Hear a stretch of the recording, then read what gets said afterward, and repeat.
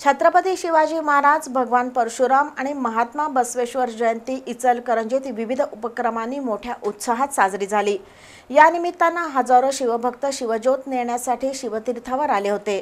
तर सार्वजनिक मंडळाच्या वतीनं आकर्षक विद्युत रोषणाई आणि ऐतिहासिक देखावे उभारण्यात आले होते. विशेष म्हणजे ईदच्या सामूहिक नमाज पठणाला जाण्यापूर्वी अनेक मुस्लिम बांधवांनी शिवतीर्थावर येऊन अभिवादन केलं. यंदा शिवजयंती परशुराम जयंती महात्मा बसवेश्वर जयंती अक्षय तृतीया आणि ईद एकाच दिवशी आली आहे. त्यामुळे गेल्या दोन दिवसापासून इचलकरंजीची बाजारपेठ गर्दीनं फुलली होती. आज पहाटेपासून इचलकरंजीतील शिवतीर्थावर शिवज्योत नेण्यासाठी हजारो शिवभक्त येत होते. संपूर्ण शिवतीर्थाची आकर्षक विद्युत रोषणाई करण्यात आली होती. तारराणी पक्षाच्या वतीनं आमदार प्रकाश आवाडे राहुल आवाडे यांनी छत्रपती शिवरायांना अभिवादन केलं.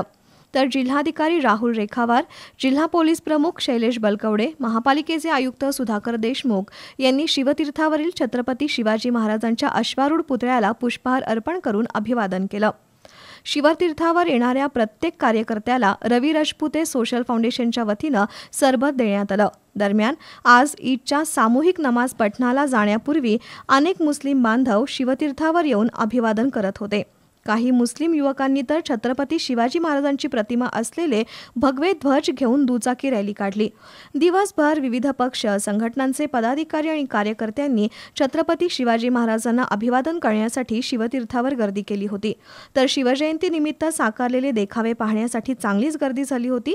सायंकाळी काही मंडळांनी सवाद्य मिरवणुकाही काढल्या. भगवे ध्वज शाहिरी पोवाडे जय भवानी जय शिवाजीचा जयघोष यामुळं इचलकरंजी शहर शिवमय झालं होतं. दरम्यान परशुराम जयंती महात्मा बसवेश्वर जयंती यानिमित्त विविध कार्यक्रम झाले.